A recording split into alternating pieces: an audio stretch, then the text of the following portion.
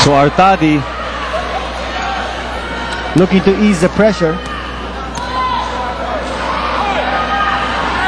Nine points would be a more comfortable lead, I think, for the Llamados at this point. But it rattles out and the rebound by Anthony Johnson. Here comes Escobar trying to shake off the defense. Now Anthony Johnson moves in, hangs in the air. That's going to be a foul. Now Johnson is foul baiting at this stage. A lot of Santa Lucia gunners position for a three-point attempt. Aljamal, one of them, but not getting the ball. Johnson looking to uh, go to the line, create contact situations. Take a look at the free throws in this game. Halos eh, lang sila in terms of attempts. Realtors getting more points, however, from the line. And two more coming up.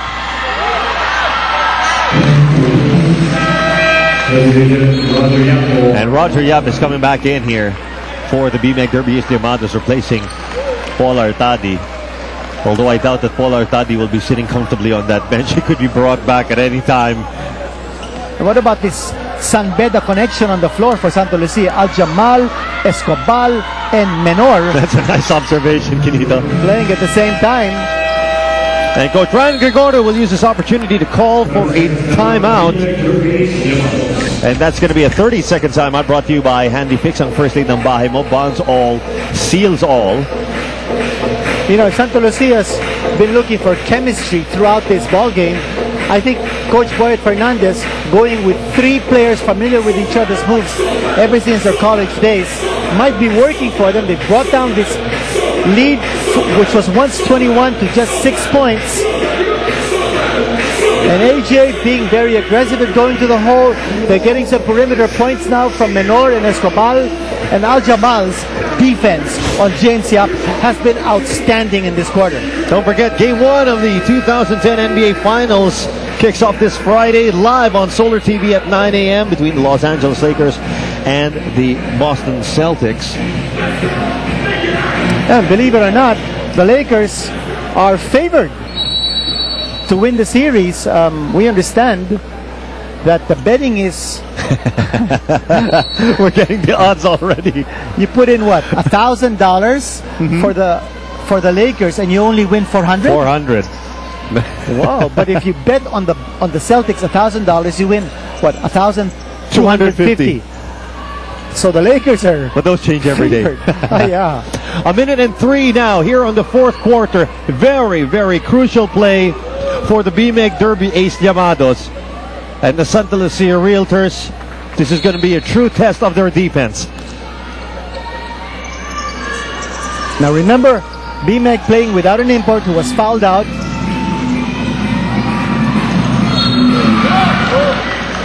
They managed to shave just a few seconds off the clock. Well, BMEG had the right idea to kill clock. So they were moving the ball around, killing some time before the uh, inevitable foul given up by Santa Lucia.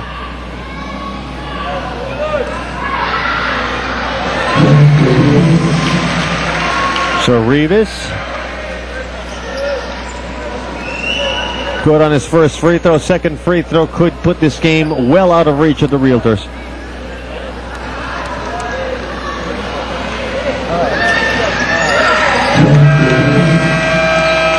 And as expected, Coach Boyet Fernandez using uh, his remaining 30 second timeout. This one brought to you by Handy Fix, ang first aid ng bahay mo. Bonds all, seals all.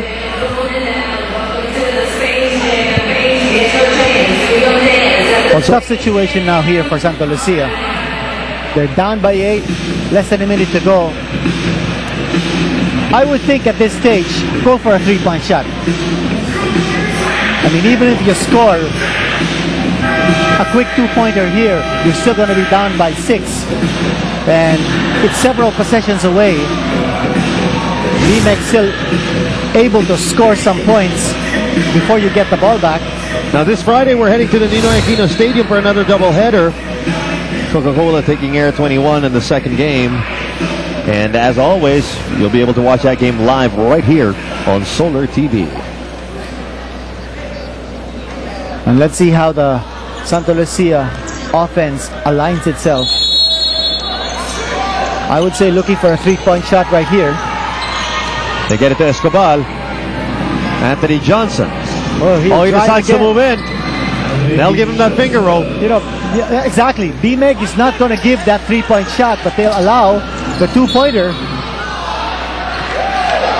Quick two scored there by AJ, and then Santa Lucia giving up the foul on the gamble.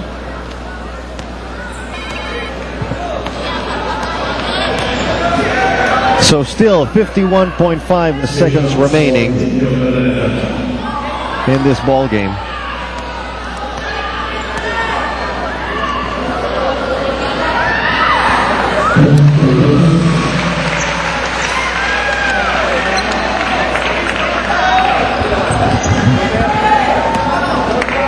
Last time these two teams met, final score was 86 to 79. BMEG uh, Derby Ace managed to limit Santa Lucia back then, and doing it again here.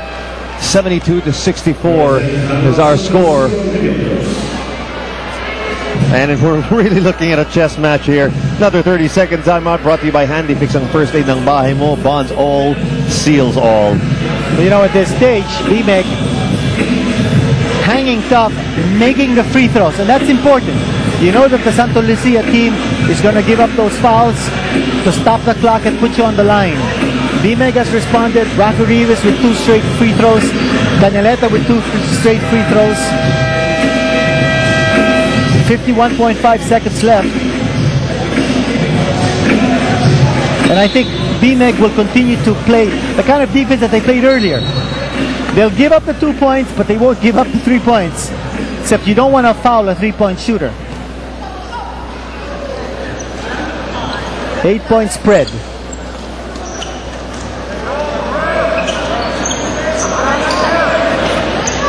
So the Realtors are going to continue with Menor, Escobar, Velasco, Aljamal, and Johnson on the floor.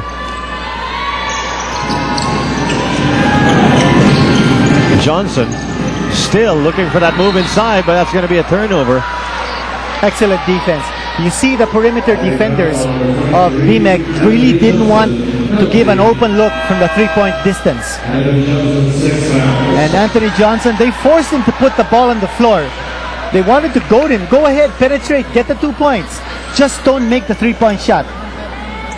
Well, that last foul was really looked like it was out of frustration. He's already fouled out of this ball game. 23 points, 14 rebounds. Although I doubt he'll be happy at all uh, with those numbers because of the impending result here. With 44 seconds to go, James Yap with a chance to make it a 10-point lead.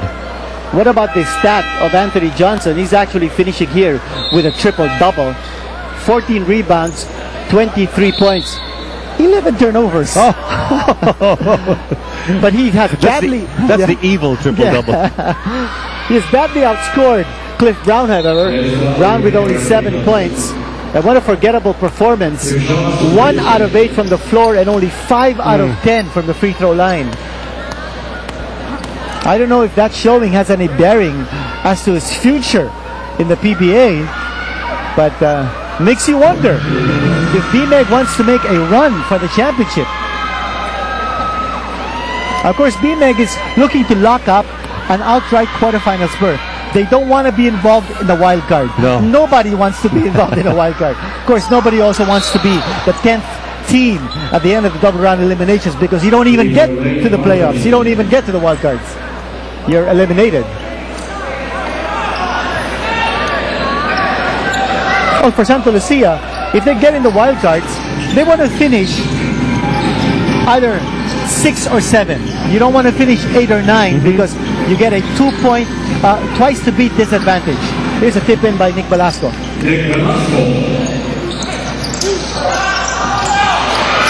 Trying to force the Uh-oh. turnover here. And Rafi Reavis coming out from the end line to pick up the ball after he released it. So mali yun.